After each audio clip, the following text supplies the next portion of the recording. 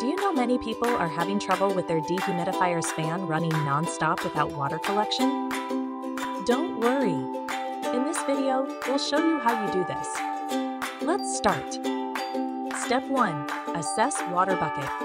Assess the water bucket. Make sure it's correctly and snugly positioned inside the dehumidifier for proper water collection. Step 2. Empty full bucket. Is your water bucket full? Carefully pull it out, empty it, and properly fix it back into the dehumidifier. Step 3. Clean drain ports. Inspect the drain ports. Cleanliness is key. Use a pipe cleaner to clear out any debris in the drain ports and bucket compartment. Step 4. Check drain hose. Are you using the continuous drain feature? If so, the drain hose shouldn't be kinked or bent. Ensure it goes straight downwards. Step 5. Inspect pump drain. If you're using the pump drain, check that the pump arm is working and the drain hose is properly attached and not twisted or bent. Step 6. Maintain regularly.